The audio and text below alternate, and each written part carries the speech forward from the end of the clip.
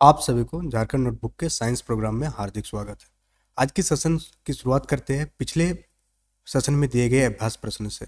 तो अभ्यास प्रश्न का उत्तर बहुत सारे विद्यार्थियों ने कमेंट बॉक्स में सही दिए हैं। तो उसी का हम लोग विश्लेषण को देख लेते हैं।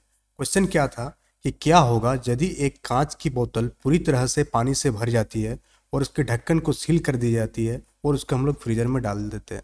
तो उस बोतल के साथ क्या होगा? पहला ऑप्शन था आपको कि पानी जो होती है फ्रीजर में डालने के बाद, जमने के बाद जो होती है वो क्या होगी? बोतल पर वायुमंडलीय दबाव के कारण कांच की बोतल क्या हो जाएगी? विकृत हो जाएगी। ऑप्शन बी था आपके पास, आखिरकार जो होती है, बर्फ़ जो होती है वो कांच की बोतल को क्या कर देगी? वो कांच की बोतल को तोड़ देगी। ऑप्शन सी था आपके पास कि पानी के बर्फ़ में जलने के बाद, जमने के बाद कांच की बोतल का वज़न बढ़ जाएगा और ऑप्शन डी था, कुछ नहीं होगा।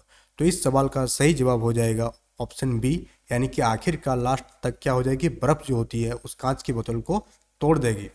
तो चलिए, इसका विश्लेषण को आप देख लेंगे।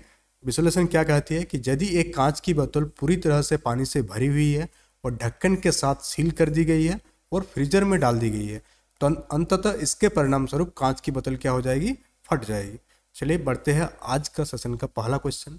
और आज के सेशन का पहला क्वेश्चन है कि लेक्टोमीटर दूध के नमूने की शुद्धता निर्धारित करने के लिए उपयोग किया जाता है। और हाइड्रोमीटर तरल पदार्थों के घनत्व को निर्धारित करने के लिए उपयोग किया जाता है, किस सिद्धांत पर आधारित है? तो आपके पास चार ऑप्शन है। ऑप्शन ए, आर्किमिडीज का सिद्धांत। ऑप्शन बी, विशेष सापेक्षता सिद्धांत। ऑप्शन सी, सापेक्षता का सिद्धांत। और ऑप्शन डी, अनिश्चितता का सिद्धांत।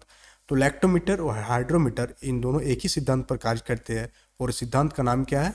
आर्किमिडीज का सिद्धांत। यानी इस सवाल का सही जवाब हो जाएगा आर्किमिडीज का सिद्धांत। चलिए इसका विश्लेषण को आप देख लेंगे। कि इलेक्ट्रोमीटर और हाइड्रोमीटर जो होती है, वो हाइड्रो, वो आर्किमिडीज के सिद्धांत पर कार्य करती है। एक तरल पदार्थ में निलंबित एक ठोस विस्थापित द्रव के वज़न के बराबर बल से उत्तेजित होगा। चलिए बढ़ते हैं आज का सेशन का नेक्स्ट क्वेश्चन, और आज के सेशन का नेक्स्ट सवाल है, चांदी का सापेक्ष घनत्व क्या है? तो आपके पास चार ऑप्शन दिए गए हैं, option A nine point five, option B seven point two, option C ten point four, option D ten point eight. तो चांदी का जो सापेक्ष घनत्व होती है वो कितना होती है? टेन पॉइंट एट होती है। चलिए इसका विश्लेषण को आप देख लेंगे कि चांदी का जो सापेक्ष घनत्व होती है, वो चांदी की घनत्व बटे पानी की घनत्व से हम लोग प्राप्त करते हैं।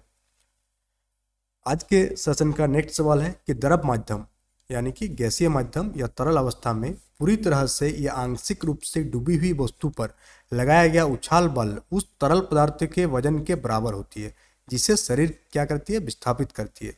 तो ये कौन सी सिद्धांत है? तो इस सिद्धांत का क्या नाम है आपको बताना है? आपके पास चार ऑप्शन है। न्यूटन की गति का दूसरा नियम, ऑप्शन बी बॉयल का नियम, ऑप्शन सी आर्किमिडीज का सिद्धांत और ऑप्शन डी चार्ल्स का सिद्धांत। तो ये जो सिद्धांत है कौन सा सिद्धांत है? आर्किमिडीज का सिद्धांत है। तो इस सवाल का सही जवाब हो जाएगा आर्किमिडीज का सिद्धांत। चलिए इसका विश्लेषण को देख लेंगे। आर्किमिडीज के सिद्धांत क्या कहती है? आर्किमिडीज का सिद्धांत बताता है कि द्रव में डूबे शरीर पर, यानी कि वस्तु पर, ऊपर की ओर उछाल बल लगाया जाता है। चाहे वो पूरी तरह से आंशिक रूप से जलमग्न हो, तरल पदार्थ के वज़न के बराबर है, जो शरीर को विस्थापित करेगी, वस्तु को विस्थापित करेगी। चलिए, बढ़ते हैं आज का नेक्स्ट सवाल। आज का नेक्स्ट सवाल है कि विद्युत चुंबकत्व विज्ञान की स्थापना और नाम किसने दिया?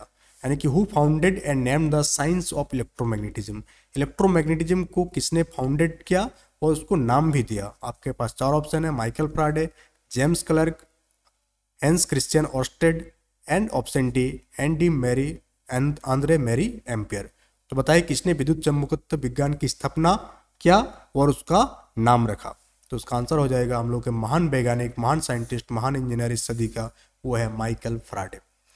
तो चलिए आप लोग नोट कर लेंगे आज का सेशन का अभ्यास प्रश्न, जिसका आंसर आपको कमेंट बॉक्स में कमेंट करके देना है। क्वेश्चन है कि निम्नलिखित में से कौन सा उच्चतम आवृत्ति विद्युत चुंबकीय तरंग है? आपके पास चार तरंगे के नाम दिया गया है और आपको बताना है कौन सा जो है हाइस्ट फ्रीक्वेंसी इलेक्ट्रोमैग्नेटिक वेब्स है। ऑप्शन ए गामा किरण ऑप्शन बी रेडियो तिरंग ऑप्शन सी प्रावग्निक किरणें एंड ऑप्शन डी माइक्रोवेव्स इस प्रश्न का उत्तर आप कमेंट बॉक्स में कमेंट करके देंगे। साथ ही सेशन कैसा लग रहा है? सेशन में जो भी इंप्रूवमेंट चाहिए कमेंट बॉक्स में कमेंट करके लिखेंगे आप। नंबर ऑफ़ क्वेश्चन अगर बढ़ाना है तो भी कमेंट करके कमेंट करके बताएँगे। कि number of question daily basis पर आपको कितना प्रोवाइड किया जाए। अगर आप चैनल में नए हैं तो चैनल को सब्सक्राइब कर लीजिएगा ताकि रोज़ सुबह ग्यारह बजे साइंस सेशन का जो अपडेट है वो सबसे पहले आपके पास पहुँचे।